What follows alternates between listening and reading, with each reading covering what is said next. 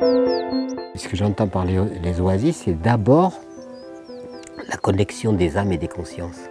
C'est-à-dire des gens qui ont les mêmes affinités se regroupent et réorganisent l'espace de façon à recréer cette convivialité perdue et cette responsabilité commune, cette mutualisation des savoirs et des savoir-faire au bénéfice de tous, qui recrée un, un univers humain dans lequel les vieux ne sont pas relégués, dans lequel les enfants sont intégrés. Et les gens qui ont ces affinités eh ben, inscrivent dans la réalité tangible et concrète ce concept d'oasis.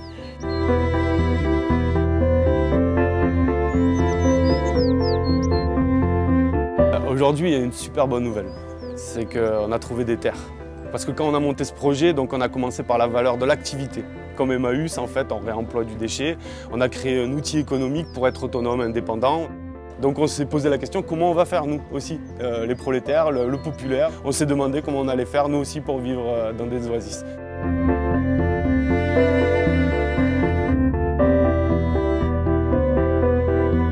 La maison autonome, c'est plus de facture d'eau, plus de facture d'électricité, euh, plus de facture d'épuration. Et la joie, c'est de voir que ce qu'on avait en nous il y a 40 ans, eh bien, était juste. Et maintenant, beaucoup de gens viennent nous voir pour essayer d'inventer un autre monde.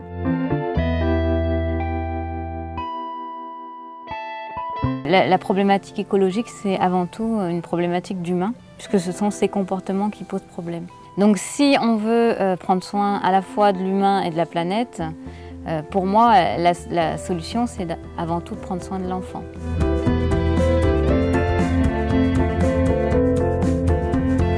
Pour moi, ce qui définit le mieux une oasis, c'est la notion de partage.